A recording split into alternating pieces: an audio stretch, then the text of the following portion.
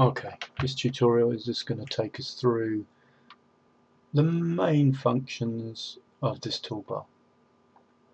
So we're on our page in the content management system so we can see the image and the title and the two paragraphs of text that we have and we're going to make use of this toolbar. If you can only see one of the rows of the toolbar then click on this icon at the end, show hide kitchen sink as you can see when you click on that it will hide or show all of the icons. Some of the icons are fairly self-explanatory so the bold and italic and strike through icons do what you'd expect if you're familiar with Word. If you highlight some text by clicking and dragging you can make that text bold. If you click and drag across some text you can make it italic if you click and drag across some text you can put a strike through through it. we have bold, italic and strike through text. We'll quickly preview that by clicking on preview changes. This update cannot be seen by your visitors yet because you haven't committed to it. We're just previewing your changes and you can see you've got bold, italic and strike through text. So we'll close that preview now quite a useful button which we're just going to jump ahead to slightly is the undo button. And the undo button is this curly arrow. The last thing we did was the strike through. So if we undo that and before that the italic we changed this area to italic. We can undo the last change. And the change before that was making this text bold. So if we click undo we will remove the bold and we're back to where we started. If we decide we did like the bold, we could redo the last change.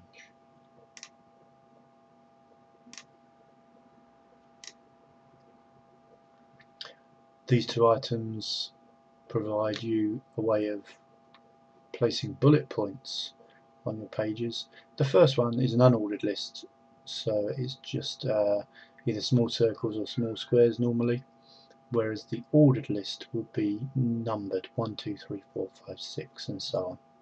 So if we want to put a bullet list say between these two paragraphs we would select the end of this paragraph. We'll press the enter key and this select the ordered list so it would be numbered. But uh, the other list is an unnumbered list so we're going to check ordered list.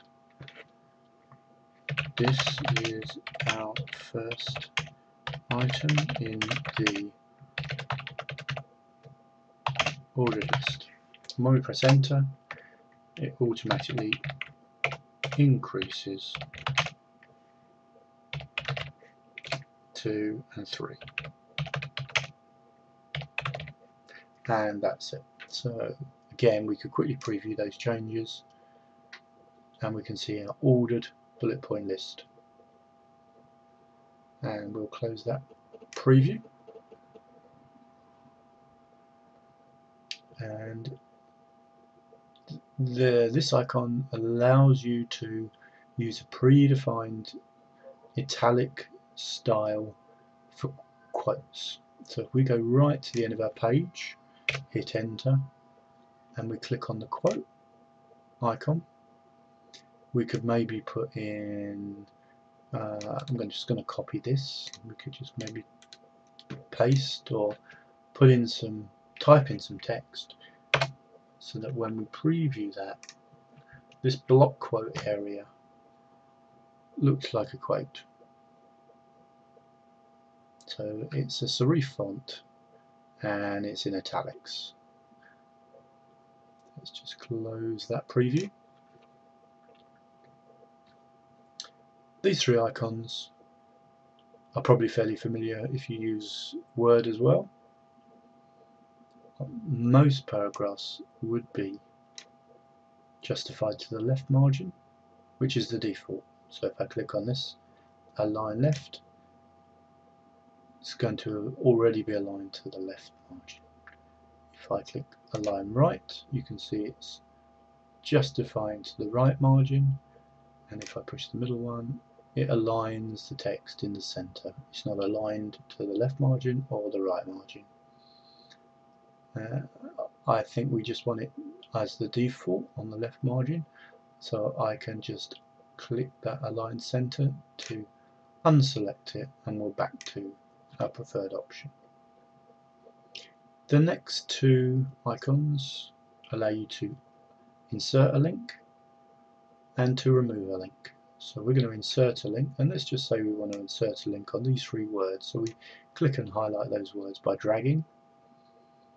And when they're highlighted we click on the insert edit link icon. And as you can see you can enter your URL for the link.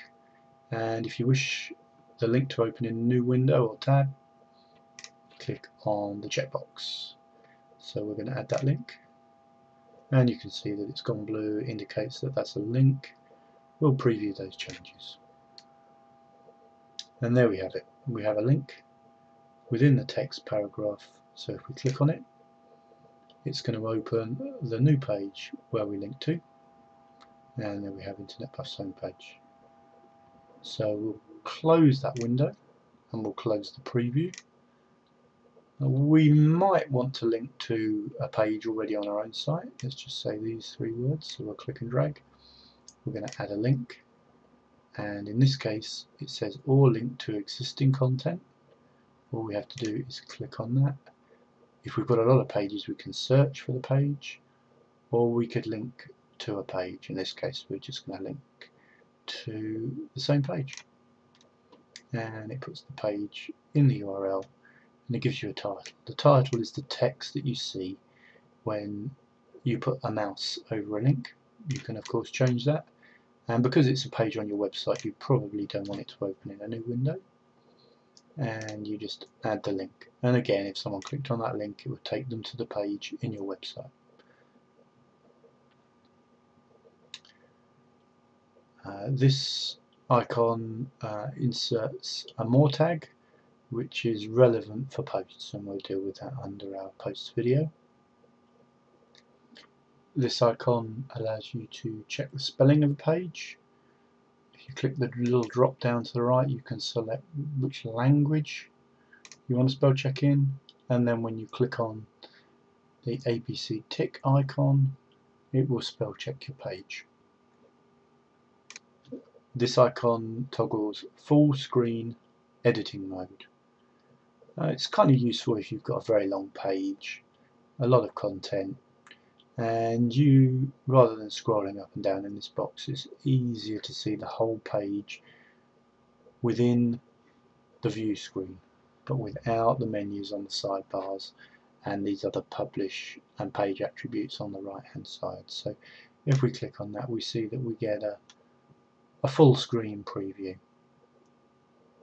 and we're able to click and edit in the same way I'm going to exit from full screen uh, you might find that that's useful if you've got a lot of content on the page and you need to make quite a lot of quick changes over a tool page.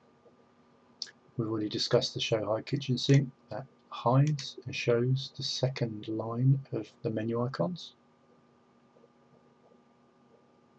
This drop down has a few options that are useful generally. You have paragraph and you have heading tags.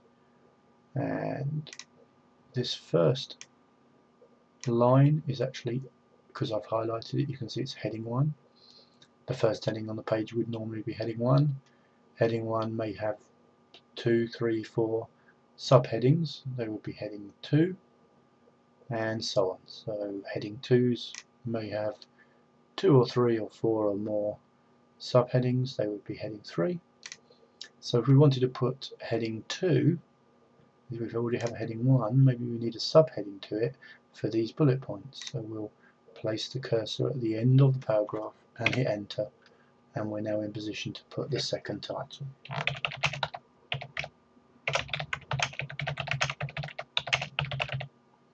We've typed the title, click and drag over the title and in this case we're going to select heading 2 and there it is. So if we preview those changes you can see we've got the heading 1 and the heading 2 now.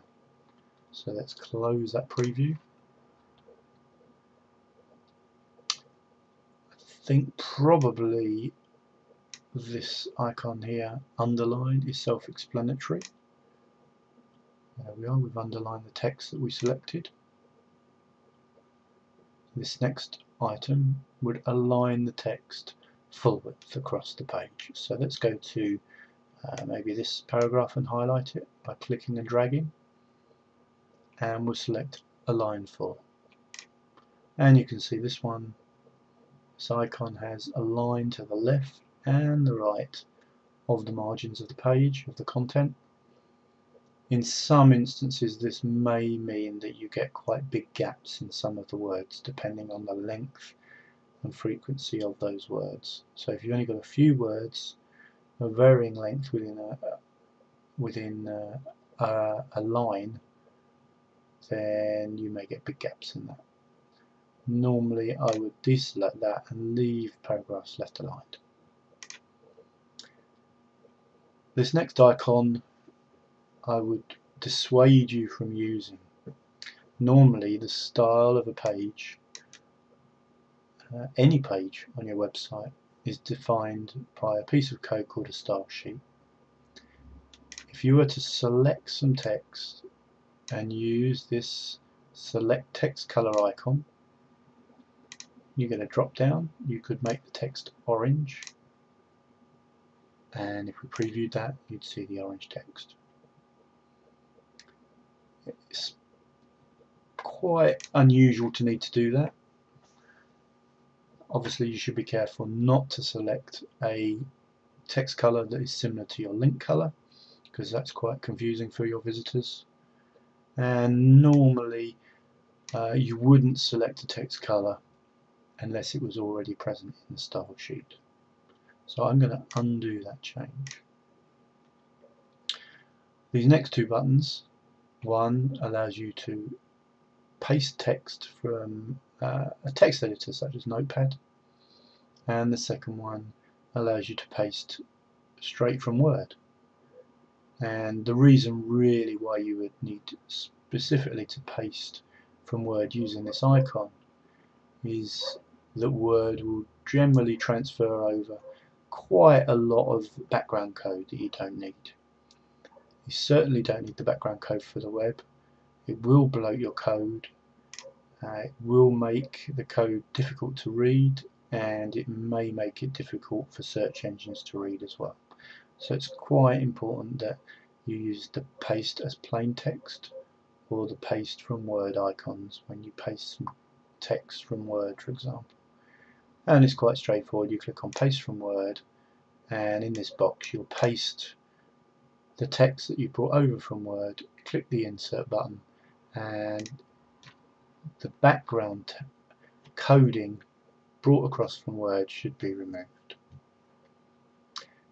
This, this little rubber icon, it's like an eraser, it removes any formatting from the text that you select. So uh, if you've got some bold text, for example, within this paragraph, and you select the paragraph, and you click on the remove formatting icon, you can see it's removed that bolding.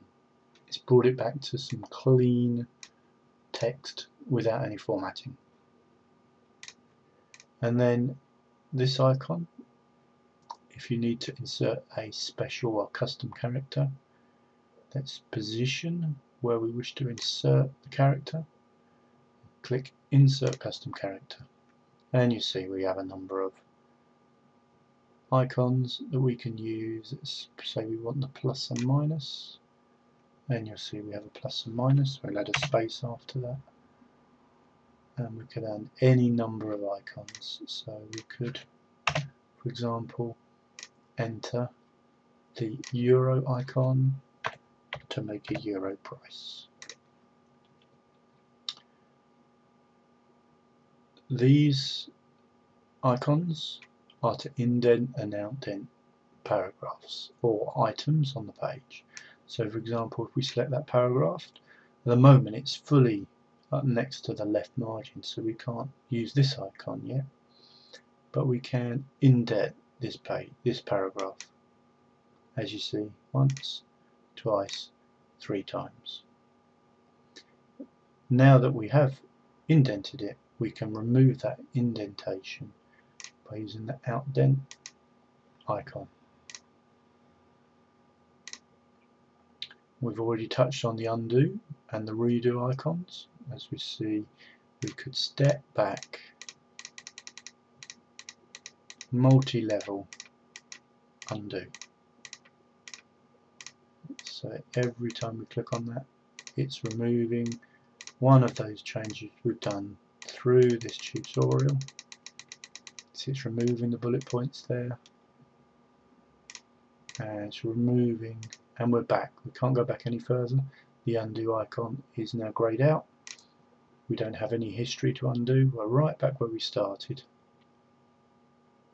And the final icon, the help icon, you can use that if you want some basic information about how to use the content management system. A lot of these icons you can use by clicking or you can use them using shortcut keys which is something maybe some advanced users would want to use to speed up the process. Once we're happy with any of the changes we've made and we've previewed them we can update that page content by clicking the update button and any of the changes we've made in the page will now go live for your visitors.